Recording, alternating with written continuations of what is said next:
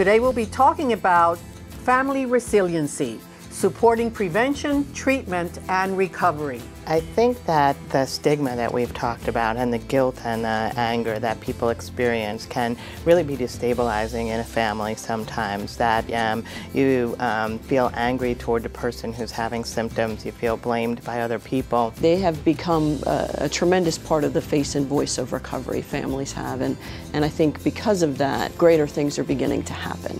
Um, and, and, even in terms of some of that stigma and shame, because now we are someone's mother or someone's daughter or somebody's sister or brother instead of you know the addict or the, the person with a mental illness. What I find very important is that whether it's the individual or the individual's family, realizing that you're not alone in this and that you can come forward and get support.